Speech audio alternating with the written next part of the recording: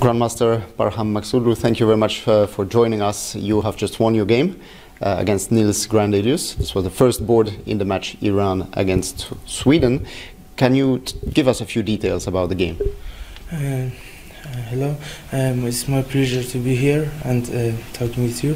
Uh, today it was a very interesting game. Uh, I'm playing this setup Kings Indian with white uh, too, much. I have too much game and I'm, I have good experiences and I have good results. So I I um, make a decision to play this variation, and it happened some d4 in the game. Okay it was uh, not known for me. Uh, okay, it was uh, a bit strange because with knight e7 and uh, knight c6, people normally don't play d4 because uh, when knight is on f6, d4 is better because after c4, c4, knight will go to d7 and then come to c5.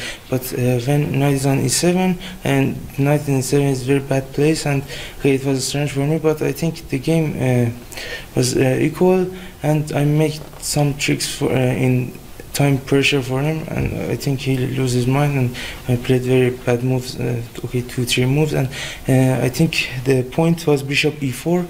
After he played g5, fg5, bishop g5, bishop e4 was a very good move.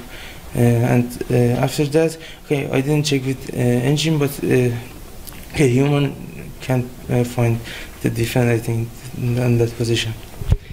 at the moment, Iran is leading 2-0 and uh, it looks like Iran is going to win the first match here after a draw yesterday.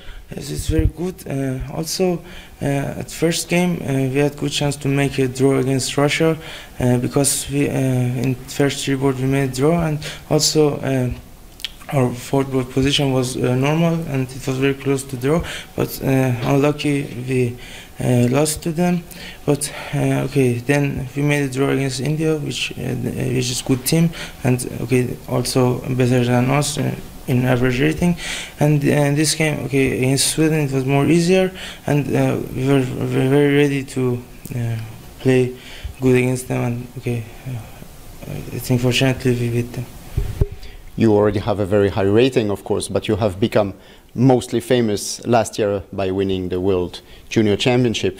And in some interviews, uh, we could read that you have this lucky jacket, which you like to wear during games. Yes, uh, I like to uh, wear vest uh, and play with vest because uh, it uh, it is some feeling for me to wear this and also when I uh, okay lose one game I change my vest to and I believe that tomorrow it will be better. Okay thank you very much and good luck. Thank you very much